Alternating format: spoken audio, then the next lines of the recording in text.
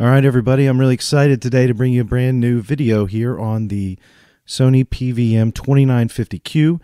And this is personally one of my favorite monitors of all time as far as a monitor that's going to do primarily uh, 240p or 480i video.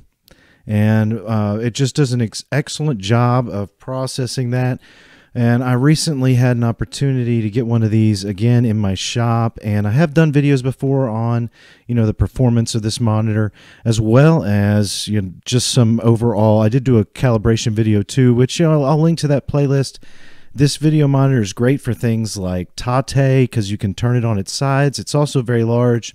And um, actually, the reason I have this last photo here, this is the Philadelphia Museum of Art and if you'll remember, the 2950 I recently or I repaired previously and restored actually is at that museum now. So today's actually this monitor belonged to a friend of mine named Sean. And so we're going to take an initial look here. Sean got this off of our government deals website that I featured, you know, a couple videos ago in Market Watch. And I wanted to show you just how this looks to begin with. You can see right here and I'll go through and probably pause this video as I'm going and preferably I'm going to just pull myself out of the picture for a moment and then uh, we'll go through this calibration screen without me there. There we go. And when uh, you look here you'll notice first off that we do have a slight screen tilt where the squares are tilting towards the right side a little bit now, thankfully, that can be corrected in a service menu, but you'll also notice some screen bowing and uh, a little bit of linearity issues here as well. This is just uh, primarily due to the age of the monitor. It's not really been calibrated uh, within any of the last few years at all. So, I, especially, I can't tell that this has really ever been calibrated. Now, Sean did take a risk and bought this monitor as is, pretty much nothing else done besides a power test on it. And uh, his auction wound up going to about $1,300 from what I can remember for this monitor. He did luck out, as I said, because it works perfectly. It just needs some adjustment, and we're going to go inside and make sure we do a good cleaning on it. I'm also going to service the boards inside. We'll go through, replace a bunch of capacitors, and we'll also test the capacitors. And to get started, we're going to remove this outer shell. Now, the outer shell, it's separated into two pieces, similar to like the 2030s. So there are quite a few screws that hold it into place, definitely more than the 2030s. I think there's about 12 total. But uh, just slowly pull that out, and the whole chassis then uh, will stay hopefully in there. But it's just slid into the front half of the screen bezel down here. And uh, that's pretty much it for the back shell. Now you have access to the boards and the inside. But the first thing we need to take a look at is just look how nasty it is inside. I can tell that it's probably never been opened uh, since it was originally put together. There's a lot of dust just built up back here. And really, if you don't have experience with uh, servicing your CRT, it's still a good idea to go in here and try to clean off dust if that's the last thing you're going to do is just go in and, and you know just want to look at the inside of it and do a visual inspection. That's what i always start with and then you can also see some of the areas that really need to be cleaned especially up here around this anode cap. We got a lot of dust built up and some of the grease is exposed over here but a real thick layer of dust on the back of that tube that will definitely be cleaning up as we go along today. Now um, some of the things you'll notice this monitor does have a unique yoke setup where there's actually a couple of separate yoke boards here. One we will not be removing, and then you've got the neck board. Um, that's not very standard for many uh, PVMs or BVMs, really. And then if we get over here, we've got a power supply right here on the left. It's also very dirty, and that's another good thing to get in here and clean. If you have compressed air, or if you have any type of just brush that, I mean, a soft bristle brush like a paintbrush or something. But the first thing I need to do is discharge this PVM. So let's just hang on here for one second.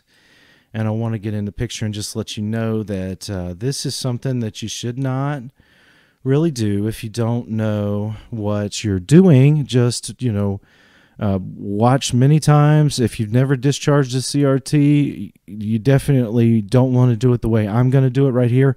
This is the way, though, that the Sony manual recommends you do it because it limits the ability uh, or limits the risk of damaging the back of the tube.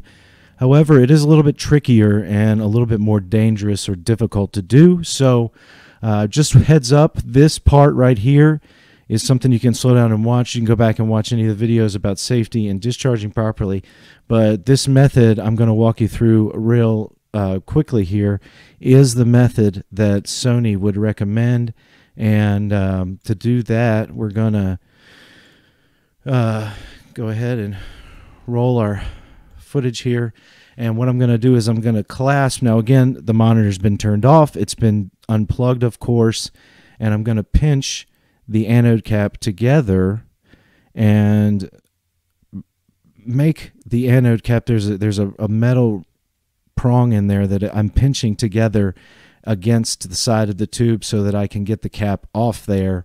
And um, now you can see it's very very difficult to do it sometimes like this uh, but uh, it might look like I'm being forceful but I'm just being forceful in the right way because I don't want to damage anything but you can see you once you get those prongs to come together, you can pull it out. And again, this is probably the first time this has been discharged since 1994. So uh, then you just turn around and tap it against the metal frame. And that is the way Sony recommends that you normally should discharge the, the uh, anode cap from the tube initially. Because again, they don't want you to damage this ring back here by sliding a discharge tool in. Then afterwards, you can go in and use your discharge tool and still discharge the tube because no matter what, there still could be energy in there. And then energy can build back up in the anode cap. So you might as well just tap it a few times as well. And so that again is the recommended way by Sony, but it's definitely not the safest way you could do it. So the next thing I'm going to do is I'm going to start working on the boards by getting the main chassis and all the other boards out of the way first. And to do that, I'm going to do two things. I'm going to slide that board out, and at the same time, I'm going to pull off this main neck board because it is all primarily connected together at one. There are a couple of connections towards the front of the monitor. That's where the degauss coil and power buttons and the yoke connects straight into the chassis there. And uh, so it's real simple to get it back together because again, the connectors are all individualized and they're not they're not um, similar in to each other. They, there's specific spots they can go in. The first thing I'm going to do is I'm going to recap this V board, which is only on this 2950 and these larger monitors with this special yoke. Uh, there were, I think, you know, six to eight caps on this special board here. But I wanted to show you that this one, uh, if you do, if you do work on these older boards, these older uh, pre mid 90s and early 90s circuit boards, and even earlier than that, are going to be a little bit more fragile. And I had an instance here where I had a couple of traces burn off on this board that I had to go in and repair, and you'll see that at the end. But those are the caps right there. Those are the old caps. So it's seven caps that were in there. So we took those caps out and then went in and installed a new cap kit of replacement caps for all of these.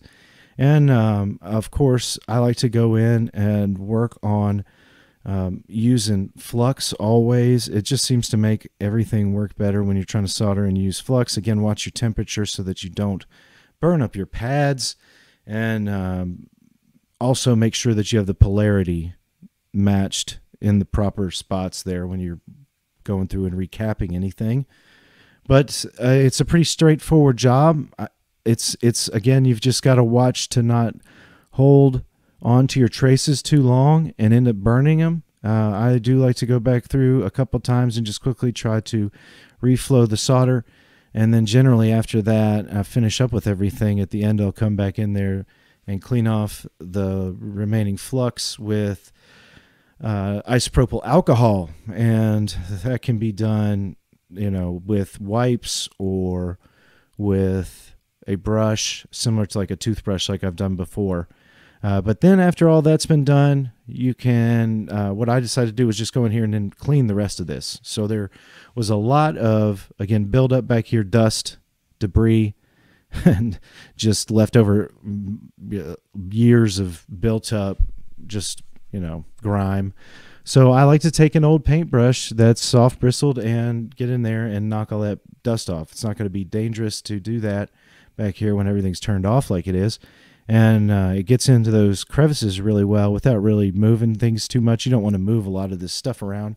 Something else you want to be mindful of is this black masked area in this uh, back of the CRT where it's got a special paint that you'll notice is slightly duller, and uh, you don't want to rub that paint very hard or it'll flake off. And there's a possibility you'll have beams of light going straight through where you can see through the entire back of the tube. But this is that whole area cleaned up and pretty much repaired. And you're noticing here my two yellow jumpers that I had to make my repairs on there for my um, repairs I had to do on the circuit board where it was just too old and fell kind of apart on me there. So now we're going to jump into the other circuit boards here and get to repairing them.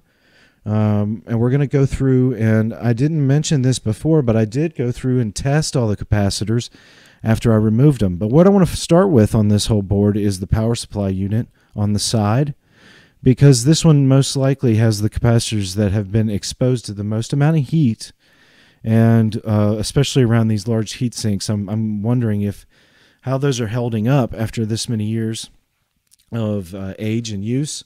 So we'll get this power supply over here onto the bench and we'll get to work on it.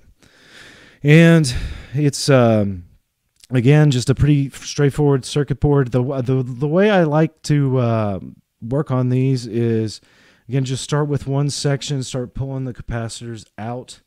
Uh, make sure you've got your listed capacitors that you're replacing ahead of time, and even if you want to, go ahead and check and make sure that your uh, list matches what you, you, is actually on the board there uh, but prior to pulling it just to make sure everything matches up so that you're replacing the capacitors with the proper ones. And because sometimes even if you get into manuals you'll notice that the capacitors might not match exactly what the manual has said on some of these it does happen or it might not tell you um, whether there's a bipolar capacitor or anything like that so uh, but it's always important to make sure that you're replacing capacitors with good capacitors and the proper ones too, or you'll have real trouble. So again, I'm going to be using my uh, meter here that I have not done a video on this meter, but I probably will eventually once I get to using it some more. But I'm just testing the overall cap health on a lot of these and checking out, um, you know, how much usage is coming off a lot of these capacitors on this power supply board. I've been documenting it. And uh, just like you know, I was hoping that I would be able to find some capacitors on this board that would be falling out of spe- spec more, uh, just to be able to document some, uh, something that was, you know, happening in a specific spot, similar to what had happened in the D series. The only issue was it, it just appeared that this particular 2950 had really le- relatively no hours of uh, re- of use put on it. I mean, probably somewhere less than 5,000 hours because all the capacitors on this board and the uh, prior board that I had just capped before this, you saw the V board, they were all within 90% of their um, you know, spec reading and the specifications for the actual monitor is 20% on all the capacitors. So there was still a, a, lot of life left on a lot of these capacitors, and they're um, even though the there's not really a big advantage to changing them except for um, knowing that the age of the capacitor itself is still uh, older at almost you know it's from 1994 so we're talking about 25 years, 26 years old, these capacitors are, but they're still hanging in there and working well. But just to make things, you know, more easy on Sean, we're going to go ahead and replace it uh, with better capacitors that were than were in here for the most part. We'll either get the same or better because this monitor didn't have as high quality of capacitors in it as the BVMs do. They a lot of these capacitors were only rated to 85 degrees Celsius and Uh, they still were mostly nice brands, but at the same time, there weren't as many of them uh, that were rated for 105 degrees Celsius. So we stepped up and increased that uh, temperature rating and went for the higher quality caps when we could that would have had you know a listed higher lifespan than uh, just an 85 degree capacitor would have had. So uh, that is one advantage. Now, one thing I didn't, I haven't shown this before. I do like to do this more, or every time I do repairs like this, and that's check my continuity of all my um, solder points. So after I go in and replace the capacitors, I'll go in with a continuity meter and just check for continuity on all my solder points after I've cleaned it and it's ready to go back in the monitor. That way to just quality, it's a quality control check and um, it avoids me having to worry about any problems or eliminates any potential issues that could come up uh, when I've reinstalled everything and I'm trying to get the monitor to work and I don't want to have any unexpected issues come up. So now I'm going to jump into the regular boards on the rest of the monitor and real quickly I'm not going to go through and show you recapping this entire chassis, but I did try to keep it uh, held up for example, the way it is right now, a lot, uh, just to keep it together for the most part when I was servicing it. And that's kind of just take advantage of the plastic and the shielding around it to hold it in place. But um, a lot of capacitors in this one. I mean, it's it's a big job, and it's kind of getting back to that thing where if there's not an issue, this is just a little bit of an advice on this one. If there's not an issue with your 2950 uh, don't be so concerned with recapping the actual main chassis. You could go in and cap the uh, sporadic boards pretty easily. You can get that power supply out of there easily. You can get the neck boards recapped easily, but not so much on the main boards. You have to take it a lot. Uh, you have to take a lot of boards apart. It takes a while um, to get everything out, and then it's kind of an awkward uh, situation to put back together. But uh, just so you know, again, I went with this one. There was not a s- specific capacitor on the entire monitor that had fallen out of spec for life expectancy. So I just was again completely shocked by that. And uh, just shows you that if there's not a real issue with your monitor and you're not ready to jump into a large repair, it's not it's not something that you really have to do right away. Uh, there are ways you can check for that, but well, first we're going to get in here and clean the rest of this shell and things. I want to show you a little trick I've recently come up with, and that's using a really high quality um, interior car cleaning product. And uh, something about this product just lets it like lift up the old oils and dirts off that plastic and um, it doesn't sit on there a long time. So uh, it doesn't harm the plastic, and it also works well on metals. So I just used that on the shell and showed you that right there. I did that on the entire shell for this monitor, and it really worked out well. Got it really nice and clean. Uh, got a lot of that old dust residue and buildup off, and uh, now we're just going to go in and reseat the main chassis, reseat all the boards, and this repair is getting close to um, finished and we can get in and start testing the monitor. Uh, just again, take your time when you're putting all this back together and make sure that you connect everything properly. And again, it's not going to hurt to go and double check everything you do. I mean, it's not, um, there's nothing wrong with that. So uh, take your time and make sure you've done it right the first time and uh, just be safe as possible if you do this work yourself or if you just want to sit back and watch you, know, you can just hang out and uh, we can watch.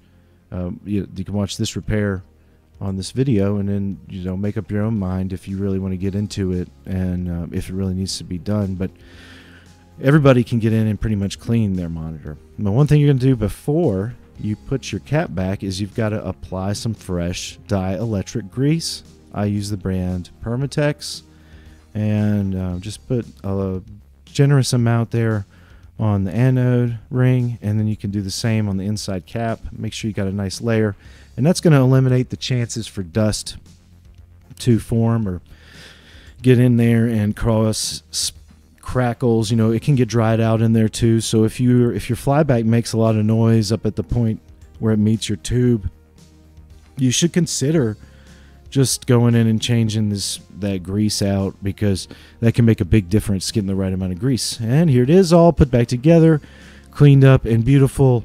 And I want to go through some of the interior, uh, well, internal things you can adjust here. First off, we're going to come down here real quick. I'm going to pause it. And I want you to take a look at right here where my cursor is. That is our flyback um, adjustment. So that's where we would get in here. And if you wanted to turn that potentiometer with the back off, that's going to control your focus. And right above it, it does say focus. So that's that's what that controls. I'm going to show you some of the other internal controls that you may want to use uh, before you put your shell on and get set. This one right here is your screen control. There's a potentiometer right there, and that's your G2 voltage. Don't adjust that unless you you know really need to.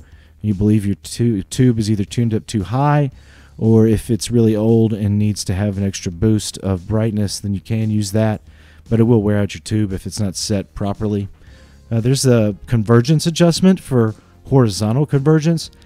And this yoke, uh, again, I said it, it does its own self adjustment through the sub menus and the regular menu where you can do tilt correction from those menus.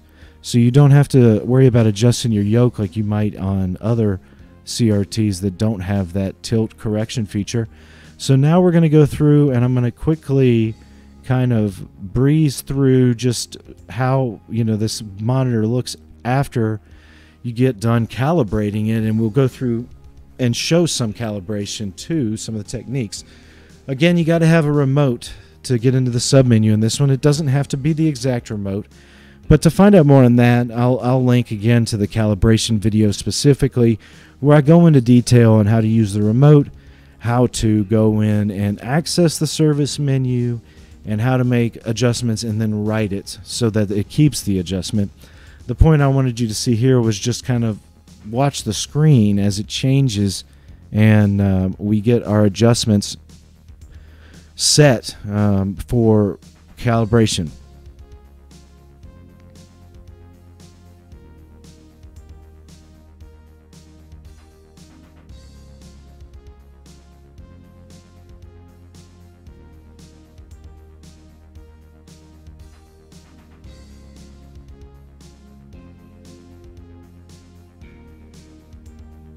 All right, so there you go. You can see me use that tilt correction, and I'm actually, um, as I increase and decrease that tilt correction setting, it'll move that and actually tilt the yoke so that the uh, the deflection yoke so that the picture shows up nice and parallel and even uh, the way it should be. Now you want to get in again to the service menu and then you can start making your geometry adjustments. Again, you're going to see all that in that other video, but right here I like to always start by getting my pictures centered vertically and horizontally, and then I go in from there and try to work uh, through the corner adjustments.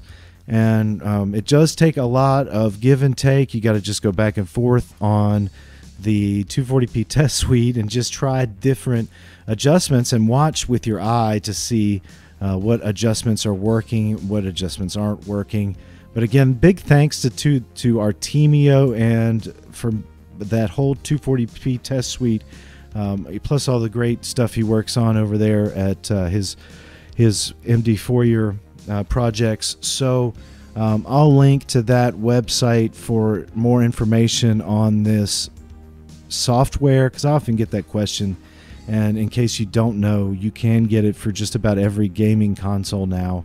And it's pretty much free if you have a way to play uh, ROMs that you can download off the internet. But you're going to want to sit there and just tweak those corners, the pin convergence, and uh, or the pin cushion settings, and the vertical bow settings, so you get it pretty much the way that you like it. Again, it's not perfect because it's still an older set, but you can tell when you get fresh capacitors, you know, how much it, it, it evenly distributes the signal, meaning when you move it, it, you're actually seeing it change in all four corners and um, evenly throughout the screen. And you're getting a nice, you know, difference between the lowest of the settings all the way to the highest.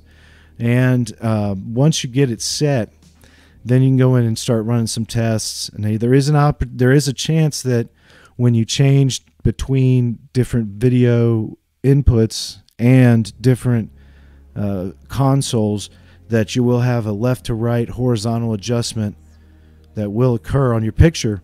And that is normal. So you can go in thankfully just to the regular menu on this monitor and you can change things uh, some of the things. You can change the horizontal centerness and size as well as the vertical centerness and size. So uh, again just go through and it just takes a lot of time to play with those settings. But eventually after you know toying with just about every setting you can get in there you, you'll come to a place that is about perfect or as perfect as the monitor is capable of. And uh, that way you've you know you know you've done your best as far as for geometry is concerned on a CRT like this one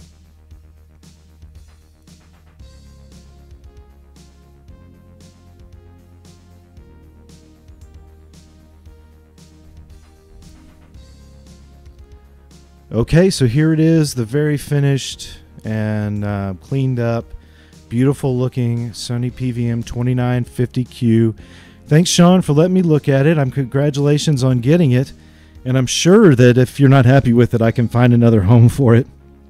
But I just know that you're going to be extremely happy with it because it is pretty much one of the very, you know, one of the perfect top end monitors for 240p and 480i video content. I mean, it works great. It has a great level of inputs.